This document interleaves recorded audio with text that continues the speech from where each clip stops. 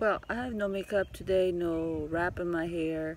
Anyways, I'm not, this is not the point of my video. The point of my video is critics are actually excellent because with critics you can uh, search about yourself and actually nail down what the others, what image they have of you because they're, you know, you inside yourself, you don't see yourself from the outside, if that make any sense. Um, now, if you don't agree with the person, you can take that as uh, something to work on. If it happened more than one time and uh, there is the same complaint, I guess you're gonna have to modify something because it's repetitive.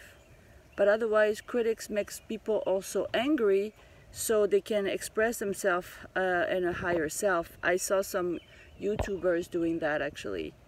So that was my two cents on that. I'm just sitting here finishing after my long day of work.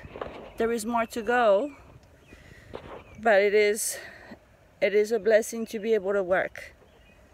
Happy Sunday everybody.